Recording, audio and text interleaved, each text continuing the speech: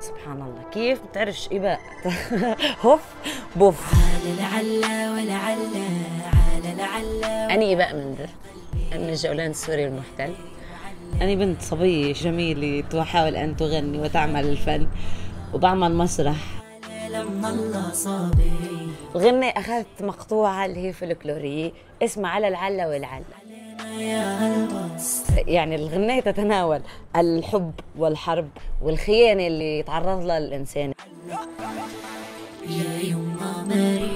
وبس وين في هيك فنون؟ بحاول جرب واتعلم أشياء جديدة.